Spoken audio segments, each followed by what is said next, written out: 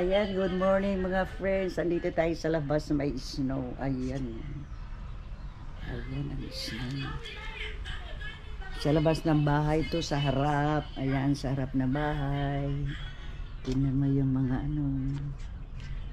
Ayan, yung mga sasakyan nila may snow. Ayan. Grabe, oh. Ayan.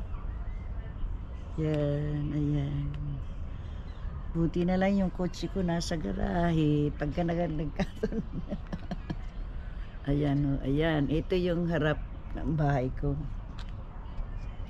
Ayan. Ito sa papuntang garahe. Ayan. Yung mga kapitbahay ko. Ayan. Ayan.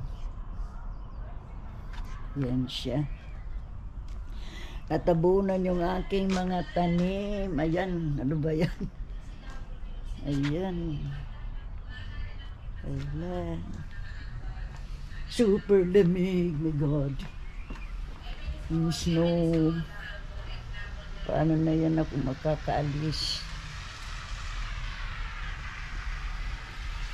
Ayan.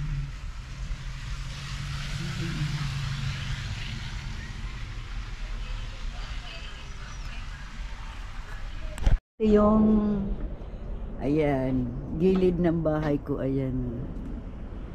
Ayan yung gilid ng bahay ko, nag snow ayan. Ayan, nag snow siya. Ay, ayan na. Parang ulan. ayan. Ito yung mga tanim, ayan. Ayan, oh, ayan.